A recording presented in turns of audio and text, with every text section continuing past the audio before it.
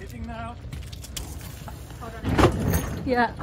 Orcas are attacking and sinking boats off the coast of southern Spain.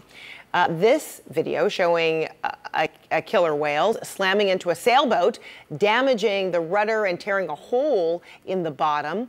Spanish authorities towed the ship back to port. If they were really trying to take a boat down, um, they, they would be hitting it harder. They would be hitting it in, a, I think, in a more um, uh, concerted effort. And the other thing that really makes me feel uh, that that it's more of a plaything with the boat um, is is that when the boats have have become completely disabled uh, by sinking, something like that, then people are transferred to a smaller boats. The whales leave.